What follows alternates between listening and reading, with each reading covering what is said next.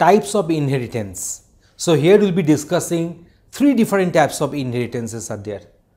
So when deriving a class from a base class, the base class may be inherited through public, protected or private inheritance.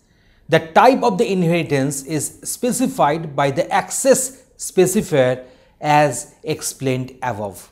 So we know that whenever we are going to do some inheritance, we are having base class, we are having derived class and from the derived class we can inherit the base class and these base class members can be inherited either using public or protected or private. So here we are having this public inheritance, protected inheritance and private inheritance. So now let me discuss them one by one.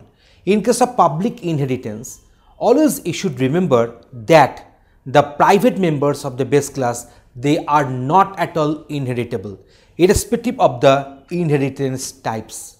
So base class private members are not inheritable.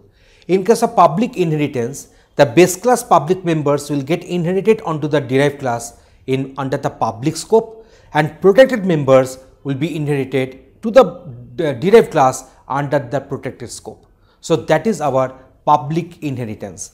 In case of protected inheritance, the base class public and protected members will get inherited onto the derived class under the protected section. And this private inheritance, the base class public and protected members will be inherited onto the derived class under the private section. So, in this way the three types of inheritances are there we have explained them one by one and these are to be kept in our mind while doing the C++ coding with inheritance. Thanks for watching this video.